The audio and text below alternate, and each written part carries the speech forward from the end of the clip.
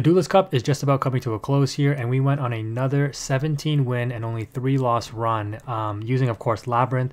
I've already covered the Snake Eye matchup with Labyrinth in another video, but if you want more deep dives into that, kind of like what I did with Floowandereeze during the tier limit format, let me know, you know, high level matches or, or something like that. But I'm going to show you how Labyrinth plays into a couple of other decks, and there are some interesting mechanics that you can learn um, in order to kind of edge out wins where you think that it might seem really difficult to do so. So let's go ahead and jump into those matches now. So Labyrinth continues to be an absolute force, I think. Um, definitely one of the most fun decks to play in my opinion, and also just very good into the meta. The only thing it kind of struggles a little bit against is Branded, um, but you know unless Branded really gets like a decent hand or the nuts, like you actually have some play there. In this matchup, we're going second against a combo heavy synchro deck. And thankfully, we do have Nibiru um, because, again, with Labyrinth, you can't afford to play a number of hand traps. Um, but they do end up getting their junk speeder out and triggering the, I think that's Stardust Synchron, yeah, to grab one of these spells. But we're going to go ahead and Nibiru the entire field, so before the opponent can start synchroing, um, give them a huge token. But it's not over. They're going to be able to extend here, sending Stardust Trail. Um, I think that's what it was, right?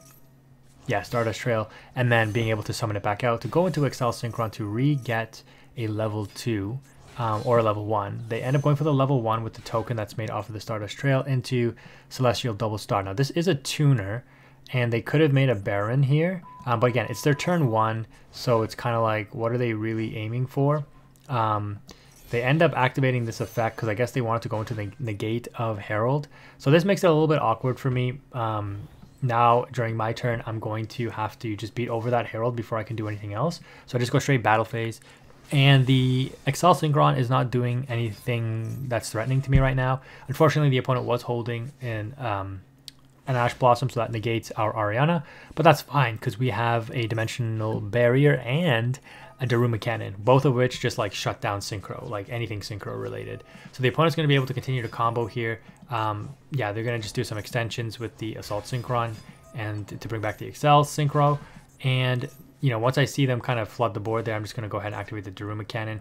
Um, again, our hand isn't necessarily the most uh, playable. We draw Lady, which isn't the worst, but like I have to activate the dimension dimensional barrier in order to trigger the Lady.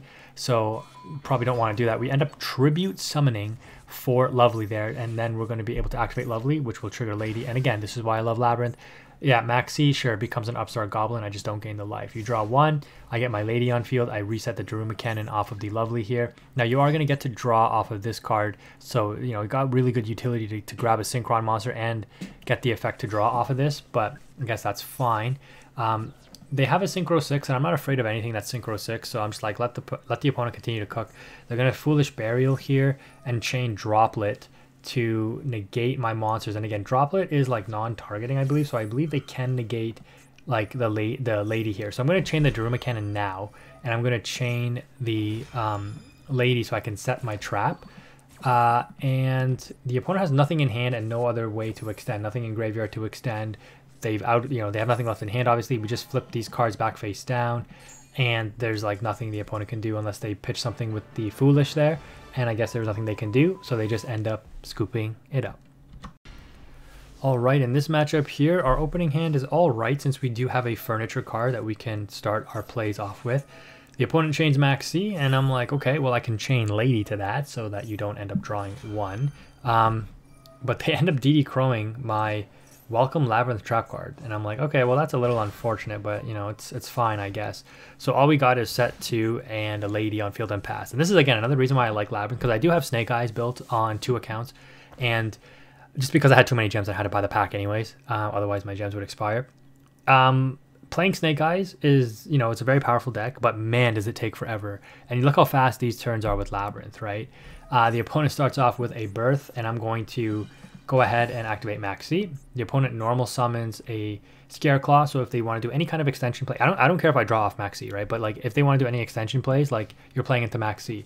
So they just summon this and pass. They're going to Maxi um, against me when I activate my big welcome. So this will give them a draw one. Uh, but I'm going to go ahead and use Ice Dragon Prison here.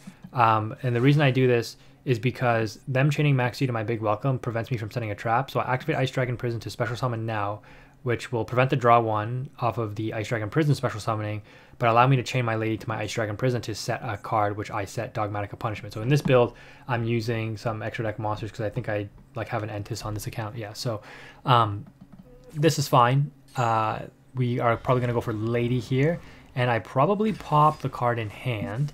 Um, oh, no, maybe the Birth? Hmm, because they draw off Maxx C. Normally I would want to pop a card in hand here, I think, because I think I can deal with this Birth um, outside of um, yeah, pop a card in hand. Like I can deal with it like this turn. So the clearly clearly they drew unicorn for turn, right? Um, yeah, they had what triple max C in the opening hand, and this is why I love Labyrinth, guys. Just like with Floowandereeze, like in Labyrinth is so much more resilient, but like Maxx C, I don't care. Like sure, Maxx C, that's fine. Draw one if any, really, right? And like again, you don't even have to. So here you see me send the um, fossil warrior thing that will allow me to banish it and pop the birth. And I outed the opponent's zero attack um, Scareclaw Kashtira. And you can see here the opponent just ends up quitting again because, yeah, Labyrinth just, uh, yeah, too strong. I'm telling you guys, if you enjoyed my Floowandereeze gameplay, I think you're going to really like Labyrinth. It was between this deck and Vanquish Soul, and, you know, being away from the game for five months, I wasn't able to build Vanquish Soul when the pack was released, so I'm not going to craft all those Ultra Rares. But Labyrinth, I am really a big fan of. I think this deck is fantastic. It's way more resilient than Floowandereeze as well. And what you're going to see in this matchup is just some of the unique ways that you can play around a lot of the things that you would think would stop this deck because the fact that you, you use trap cards, it, it's able to play through and around a lot of interruptions that the opponent might put up. So in this instance here, I'm just going to pause it here and just explain what was going on. So our opening hand wasn't the greatest, right? We set a Cooclock because we had a hard drawn Big Welcome and Labyrinth Labyrinth Field spell. So we wanted to be able to trigger Big Welcome, summon the Lovely, and bounce something back that wasn't the Lovely, right? Um, so that's why we set the Cooclock. Once the opponent revealed that they're on Swordsoul, thankfully we didn't get ashed because that would have probably made us lose the game there. But the field spell will pop the token here um, after bouncing the Cooclock because this means that the opponent has like a, a, really hard time doing any kind of extension play and then the lovely will pop a card in the hand. So we know that they have another ashuna. Um, they're going to chain droplet pitching a moye so they're just revealing their whole hand. And i guess like this this doesn't actually like I, I guess this makes sense if you plan to beat over the lovely and you want it off the field which in this case would be really bad for me because i have no way to like i have to draw something to make my hand playable again. Um, so i was banking on like this lovely staying on field. But normally this would not be a good play because this costs you two cards and you negate a pop one or pop one on field like pop in hand or pop on field so like this actually worked out well for the opponent to beat over the lovely here um, but normally, like I don't see that this is the play. Like you'd rather me just unless you have something in your hand you really want to protect. That's the other reason why. Um, but I can't imagine you, you care about protecting these two cards because I was gonna pop maybe maybe they did because I was gonna pop the monk here um, so that they couldn't do the banish Ashuna special summon. But now I'm forced to use my ash on it, which is fine. Uh, but they still have the monk on field, and I'm like, okay, like they can beat over, and I still need to draw something in order to be able to get it back into this game they make an odd play here, and I'm like, why are they linking? Uh, you know, you can like if they ended up discarding a Taia off the Forbidden Droplet, and then they they uh, shaman back the Taia to banish and and you know proceed to play, that would make sense. Um, but this is why they did it. So again, they have reasons for everything. I guess they really did want to protect the potential pop of the normal monster or the pop of Protos in hand. So the Protos here, you would think, oh, Quantum, all your Welcome Labyrinth, big Welcome Labyrinth, you know, you can't special summon any Dark Monsters, you're done for, right? Um, well, again, because you play trap cards, and depending on what trap cards you play, um, I personally like to play compulse and, and stuff like that for like situations like this, and or, and or like monsters from the extra deck that are a problem. Uh, we draw a welcome labyrinth, and I'm like, okay, this works because if you read Protoss, it does say that the uh, the effect to not special summon monsters of that attribute, which obviously the opponent is calling dark, is only until the end of my turn, like the next turn. So they activate it on their turn. The end of my turn, the effect is gone. So in their draw and standby phase, before they have the uh, the chance to activate Protoss again, I'm going to activate my Welcome Labyrinth. Now again, I know Protoss is indestructible, so I don't bother activating Labyrinth Labyrinth, but I go for Arianna here on the special summon so that I can grab a furniture card, and I grab Chandelier specifically so that it doesn't get special summoned to field, it comes back to hand. Um, because it, it might be a, a, turn or two before I can out this Protoss. We're going to activate the Cooclock and then chain the Labyrinth Chandelier, pitching the transaction rollback. And this will allow me to set and activate a Big Welcome Labyrinth here, which gives me my normal summon for next turn in the Arianna. We get back Labyrinth Cooclock uh, to hand, because again, no point in special summoning it, because it would just get popped, and we do want to bounce the, the, the, Arianna, we don't want it to get popped by the Protos. I just activate the, the Labyrinth Labyrinth effect to pop the Protos, just because I've used two Labyrinth cards, but yeah, normally you wouldn't do that, because obviously Protos can't be destroyed by card effects. Uh, but that's going to trigger the Chandelier and the Lovely here. And, you know, we know they have the Ashuna in hand. The card they drew for turn was Emergence. So if we think this through, this was a really clutch play in the draw phase to pop this. Because if I pop the Ashuna, they Emergence for Taia, Taia banish Moye. They can't go for game. If they go for Chixiao, I think they have 5,300 points of damage. They can't go for Berserker because if you activate Protoss before you Synchro Summon, you can't summon Berserker. If you activate Protoss after you summon Berserker, you pop your own Berserker. Um, so they can't go for game from, from what I know. There's no other real Synchro 8 that's not a dark monster that would allow them to go for game. The smart play would go would be going for Baxia or just Chixiao and, and searching the follow-up. Um, but yeah, I mean, they would use their emergence, get the tie, a normal summon tie. They would have nothing in hand. Tie would dump. You can't do anything with the dump. Off Chixiao, you would search maybe for like a blackout, so you could set it and then pop two cards. That that probably wins them the game. Um, or you, yeah, you can target Protoss, uh, Protoss obviously, and pop Protoss, and it doesn't get destroyed by the blackout and pop two cards on my field. So if if I didn't pop that emergence there with the lovely hand pop, I might have lost this game. Again, it would depend on my draw because they wouldn't necessarily attack me for game, but then searching blackout on the heads up play would be the smart thing to do. Um, they're just going to protect and use the effect to pop lovely again, but now I have my normal summon for turn. So you can see how that one draw of Welcome Labyrinth and using the knowledge of like the draw and standby phase is where I can like start to get my engine online really helped. Protoss only negates the special summoned, or sorry, not negates, but prevents the special summon monsters of uh, Dark, so I can still normal summon the Arianna and I search for yet another furniture piece. We're going to pitch furniture and set up a big welcome again, doing the same cycle of, um, you know, activating in the draw phase and standby or standby before the opponent can activate the Protoss in the main phase. And then we drew a Compulse, uh, and this card can easily just bounce this back to hand. They don't have enough attributes to resummon it, and I can probably end up popping it in hand um, but it does depend on what they draw for turn. So again, during draw phase, I'm actually going to go for Lady here. Um, this will allow me to trigger off a set trap when I activate Compulse. Because we bounce back the Arianna, we're going to be able to trigger a bunch of effects. So Stovie Torbie hits the field, Chandelier comes back to hand, and the Welcome Labyrinth will get reset. Now I'm going to go ahead and activate Cooclock and then activate Compulse on the Protoss, Protos, however, I think I'm flipping between the names, but it doesn't matter. Um, activate uh, Lady there to set a trap, which I plan to activate this turn in the Ice Dragon's Prison, which is very strong because I can grab Moye and banish whatever worm they put on field if that's what they drew for turn.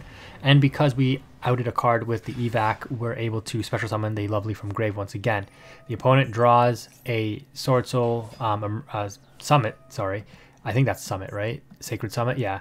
And we opt not to steal off the Ice Dragon's prison. Um, they reveal the Ashuna that we know they had in hand off the Moye. And I make a misplay here. I, I needed to wait until after the token was summoned because you actually want to pop the token. Uh, popping the Moye here is actually worse.